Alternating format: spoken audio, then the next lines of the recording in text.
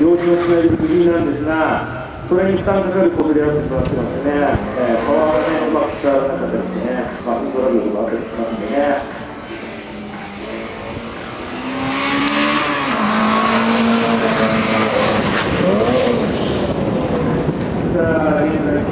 吉田選手、昨日も噂があります。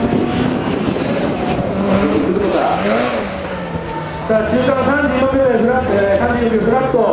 これ1本目も面白いですよね。さあ、33秒台前半とかでね、狙えるんですけどもね。さあ、そして吉田選手の体をここちょっと